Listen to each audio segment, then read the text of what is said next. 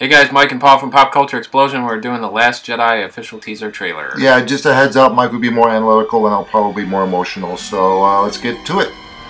Up there's Rey as she comes out of some type of training or trance. Yep. Oh, I get so excited when I see that logo. And we're back to, uh, it looks like where The Force Awakens left off here, back in the uh, Ahch-To or whatever the heck the island is. Yeah, this is probably the first time Luke has had a visitor in at least five years. So I bet he was kind of lonely. And so we got some sequences of uh, Rey training. Force, like a boss. What do you say? Oh, Princess like- Leia. Miss her. Like, Carrie Fisher, you're awesome. Now, when I first saw this, I thought that was Darth Vader's helmet. Yeah, and I didn't know what the hell it was. Apparently that's Kylo Ren's helmet. Yeah, he must have got pissed off at something. And we got some books, which is uh, a mystery at this point. You know, everybody's asking what that's all about.